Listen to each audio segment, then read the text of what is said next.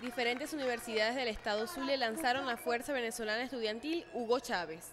Hoy todos los estudiantes universitarios, dirigentes estudiantiles, en todas sus expresiones, presidentes de centro, presidentes de federación, consejos y voceros estudiantiles, estamos hoy haciendo el lanzamiento de la Fuerza Venezolana Estudiantil. ¿Y por qué lleva el nombre del comandante Hugo Chávez? Porque el comandante Chávez fue el mayor y más grande dirigente estudiantil del siglo XXI, quien garantizó las reivindicaciones estudiantiles, quien llevó a Venezuela a convertirse en el quinto país del mundo en matrícula universitaria, el segundo en América Latina. El Estado Zulia es el primero en realizar la consolidación de esta fuerza estudiantil.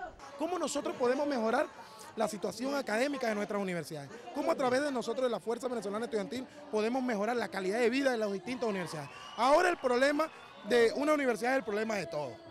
Ahora el problema de, los compañeros de la UNER es un problema del UTM, es un problema de luz, es un problema de las distintas universidades. Esta Fuerza Venezolana Estudiantil no es simplemente, y así como lo decían compañeros de la derecha, ellos están diciendo que nosotros creamos esta fuerza por la coyuntura que se vive el país. No lo hicimos porque verdaderamente necesitamos consolidar un movimiento estudiantil y también porque el presidente, el mismo presidente Nicolás Maduro, en un momento, el, día que tuvimos la primera conferencia por la vida y por la paz, él manifestó que ya está bueno que el movimiento estudiantil esté disperso. Y nosotros hacemos un llamado a la dirigencia estudiantil y a la juventud del Estado Zulia a que se sume la Fuerza Venezolana Estudiantil.